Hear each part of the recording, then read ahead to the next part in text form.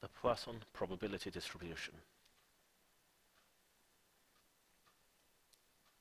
The Poisson distribution can be used to model discrete events that occur randomly, independently of each other, at a mean rate lambda.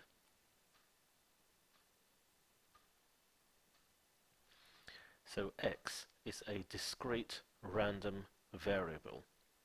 It gives the number of events that occur in a given interval of time or space. And lambda is a mean rate at which events occur. In the OCR formula book, there is a formula for calculating Poisson probabilities.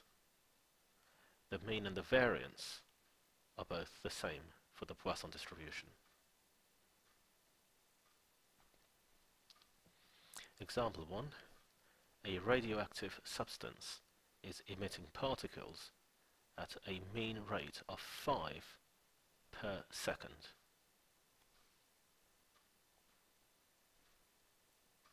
x represents the number of particles emitted. x can take the value 0, so no particles are emitted, or 1, or 2, or 3, 4, 5, 6, 7. There is no upper limit to the Poisson distribution. The uppercase x here is a discrete random variable. So this is our random variable. And the value that it takes is represented by the lowercase x. So to work out the probability that four particles are emitted in a one second interval, we want to calculate the probability that x equals 4. So we have e to the power of minus lambda, lambda is 5, times lambda to the power of x, and x is 4, divided by x factorial, and x is 4 which gives 0.175.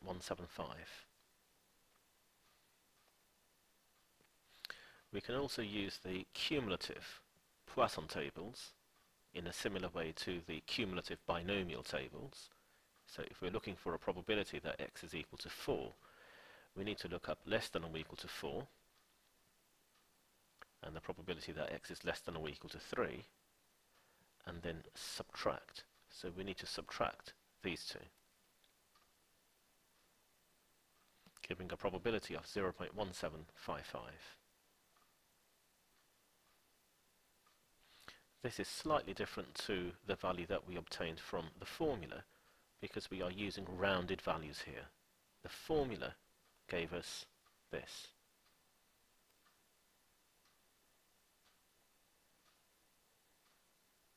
So we can use the cumulative Poisson tables to calculate the probability that x is equal to 4. Example 2. The value of lambda is now 2 and we're looking for the probability that x is less than 4. Less than 4 means we need to look up the probability that x is less than or equal to 3 from the tables. So lambda is 2 and less than or equal to 3 gives 0.8571.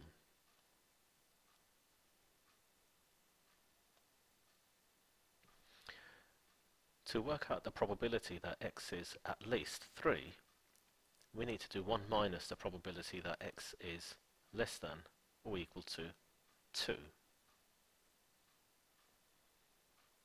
So less than or equal to 2 from the tables is 0.6767, which gives 0.3233.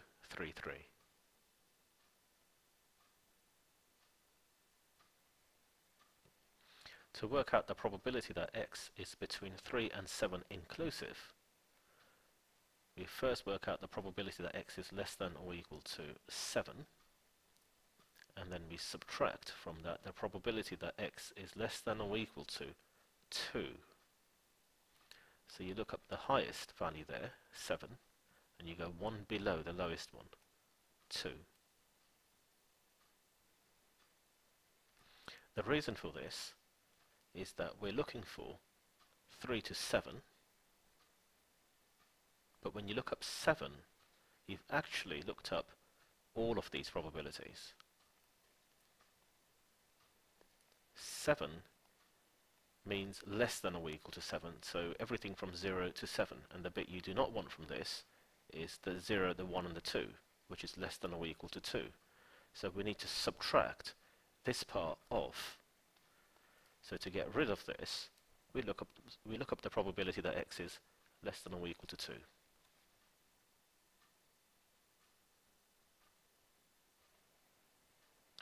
the probability that there is at least one emission is the probability that x is greater than or equal to 1 which is 1 minus the probability that x is equal to 0 which is 1 minus the probability that x is equal to 0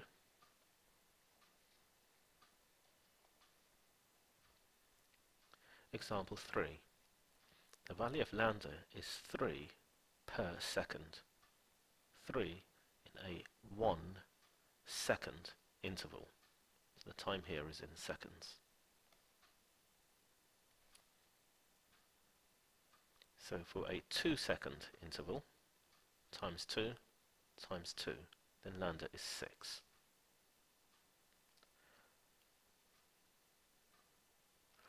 For a 5 second interval, we multiply by 5, we multiply by 5, then lambda is 15. And so you can modify the value of lambda.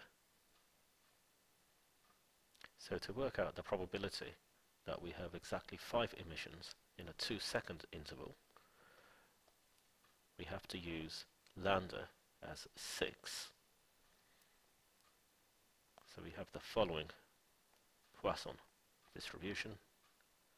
We can use the tables in this case to work out the probability that x is equal to 5 we need to work out the probability that x is less than or equal to 5 minus the probability that x is less than or equal to 4 which gives lambda is 6 less than or equal to 5 0.4457 less than or equal to 4 0.2851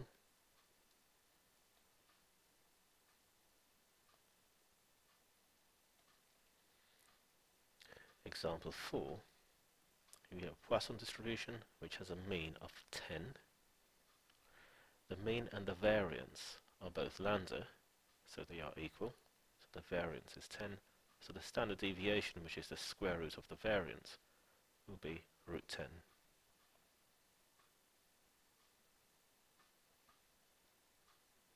Example 5, the value of lambda is given and the probability is given this time we need to calculate the value of t.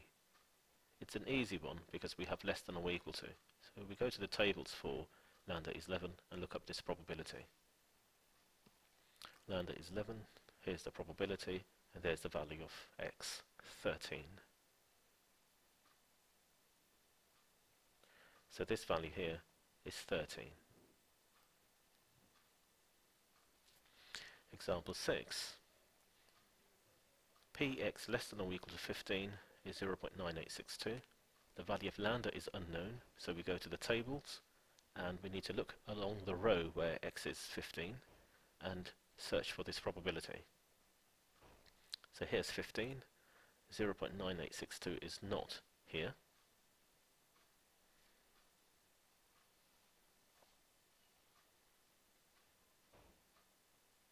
And looking along 15 here, here's the value, 0.9862 and the value of lambda we're looking for then is 8.5.